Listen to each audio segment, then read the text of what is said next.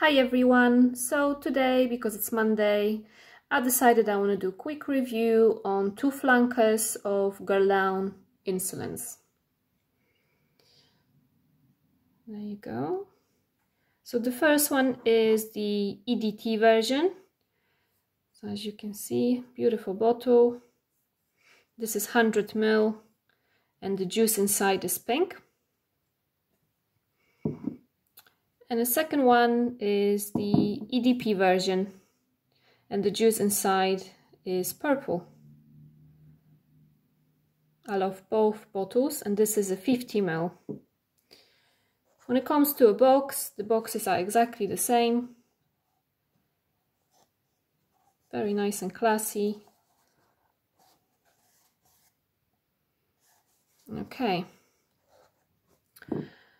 So let's start with EDT version. So this one is my favorite. I'm gonna tell you that straight away. So I've tried them both um, and definitely the EDT version, it's one of my favorites. Beautiful, beautiful, beautiful scent. So this one is more fruity. With this one you get the raspberry note, obviously the violets, but this one I feel it's more feminine it's also powdery, but, but not as powdery as the EDP version, because the EDP version, to me, it's more powdery, it's more, you can, you can notice more iris and more floral notes, while with EDP, it's more fruity. And funny enough, the EDT version lasts on me longer than EDP. I'm not quite sure why is that. Is it is it only my skin? So please leave some reviews and comments and tell me what, what was your experience with both. But yeah, they both beautiful. I love them. I love them very much. They will be always in my collection. I like the packaging. Um, obviously, it's Guerlain. Absolutely stunning. And yeah, this one is very floral, very feminine. It's very hard to describe because this is such a completely different scent to what I know. Like it's, it's not floral as you know of some of the um, Elizabeth Arden flankers.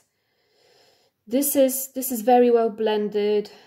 Again, it's a Guerlain house, so you you can obviously make sure that they've used the best ingredients, and you can definitely feel it.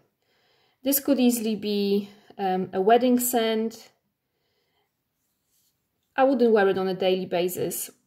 Well, that's my personal opinion because to me it's a very special scent. So yeah.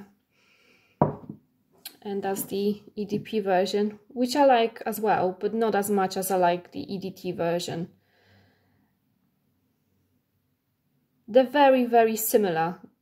But as I said, and with EDT version, this one is more fruity. You can definitely smell that raspberry note. Beautiful, beautiful scent. Highly recommended one. Okay, thank you for watching and don't forget to subscribe.